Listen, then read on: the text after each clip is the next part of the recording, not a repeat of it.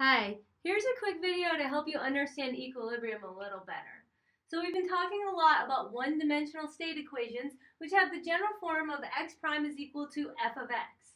Notice here that the rate of change in the state x is dependent on the current state itself. It does not depend on what time it is. These are known as autonomous equations. What autonomous means is self-governing. And so that means that X is going to figure out how it's supposed to change just by looking at itself, not by looking at its watch and saying, okay, what time is it too? Okay, so there's no t dependence in f of x, and that's very important for our theory of equilibrium points. So what we know about equilibrium points is that we take the right-hand side of the differential equation, the function f of x, and we set it equal to 0. So when we solve for the roots of f of x, this gives us special points, I'm going to denote them as x star, that are called equilibrium points. Even though they're called equilibrium points, you want to think about them as equilibrium solutions because they are solutions to the differential equation. Okay? But because these are special values of x, such that the x prime is always going to be equal to 0, remember we set it equal to 0 to get those points, that means that if the derivative is always equal to 0, then the special equilibrium solution is a constant. Because remember that if the derivative of a function is always zero, that function must be a constant function. So that tells us that these equilibrium solutions are constant values. They hold the value of x star for all time. That's a really important point. So I'm going to draw a picture here of the time series, and I'm going to draw several different solutions. In this example, I'm not going to write down any equations um, because the equations that would result in these solutions are a little bit complicated, but I'm just trying to make the point about the equilibrium solutions being constant for all time, okay? So let's say that I had some state equation, some f of x that I solved, and I found an x star, and my x star, my special equilibrium solution, was located at a value of x right there. Then what does this solution look like for all time? If I was going to draw it for the rest of time forever? It's got to be a constant, right? And so it's going to be a horizontal line for all time. That's known as an equilibrium point or an equilibrium solution. You see, it's unchanging. That's why we call it being in equilibrium. Okay? Now, let's say in this equation that if we start here at some other initial condition that's not equal to the equilibrium point, just for fun, let's consider that maybe starting with this initial condition, it goes like this. Maybe it has a solution that looks like this. Okay, you see how I drew this solution kind of funny, kind of wiggly looking? It's tending toward the equilibrium point. And because it's tending toward the equilibrium point, we know that this equilibrium point is at least semi-stable. It's stable for some fixed points that are below it right? Because it has other initial conditions tending toward it. But the point I'm trying to make here is one about equilibrium points being constant for all time. Because you may look at a solution like this and you may say to yourself, well, look, there's a lot of ups and downs in this solution. Look right here. There's a horizontal tangent here. There's another horizontal tangent here, and one here, and one here, and one here. So this solution has a lot of horizontal tangents. For some values of time, the x prime for this solution, dx dt, is equal to 0. At this point, this point, this point, this point, and this point, these are time points times when this other solution has the property that x prime is equal to 0.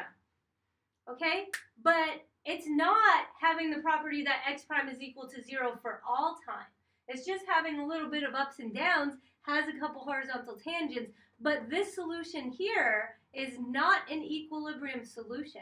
What an equilibrium solution always looks like in a time series is it always just looks like a horizontal line. Okay? Um, I think that I saw some confusion about this, and I think that the confusion was coming from our classical example of describing stability and instability in terms of the tops and bottoms of a hill, or the bottoms and tops of a hill, right? So this is a classic, classical illustration of stability. And this is something that we see in the in the book too, is that when they start to talk about stable and unstable, they might draw a hump here and they might draw a trough here. And then they're saying that if you started a ball at the top of this hill, it would be at an unstable equilibrium. Right? And likewise, if you started a ball at the bottom of this hill here, this would be something that we're calling a stable equilibrium. A stable equilibrium. I'll just abbreviate that with EQ. Okay? And so this kind of gives us a good understanding of what it means to be unstable or stable um, from the concepts of disruption or perturbation. Because if we take this stable, this unstable solution that's just sitting at the top of a hill and we shake it around or perturb it a little bit, it's going to fall out of its equilibrium. It's like a pencil that's just bouncing precariously on its tip. Okay? Contrast that with a stable equilibrium, where if you imagine shaking this around a little bit, the ball is going to fall right back down to zero.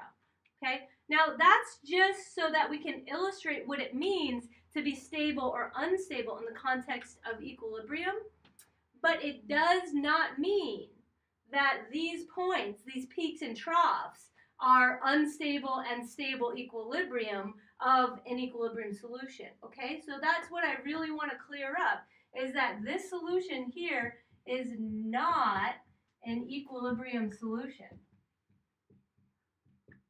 Equilibrium solutions on a time series graph will always look like a horizontal line for all time. And that's because x prime is equal to 0 for all time. Okay?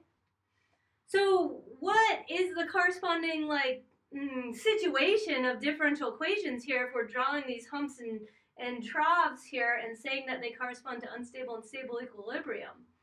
We didn't actually define the state equations um, that are underlying this. This is just an illustration of the concept of stability. But let me draw you some corresponding time graphs to this so that you can really see what I mean there. So let's say that we did have the state equations that were governing, uh, let's say the height. If we want to talk about one dimension, we would just have to simplify it to one dimension. So let's say that I want to describe the height of the ball, right? That's my one dimension. So let's say that x is equal to the height of the ball, right? And I'll show you what I mean by stable and unstable equilibrium in terms of this. Is let's say that we had some kind of meter stick here, right? And maybe this is um this is one meter and the top of the hill here is at three meters. And so you see three meters high, that's an unstable equilibrium point. One meter high, that's a stable equilibrium. And then I would have some x prime equals to f of x. That would be the governing equations that describe how the ball's height is going to change in time. I'm not going to write those down. I'm just focusing on trying to describe the time dynamics in the time series right now. Okay, so if we had these time dynamics, we would have two equilibrium points. One would be at a stable height of one meter, and another would be a stable height at three meters. That's supposed to be a perfectly straight line.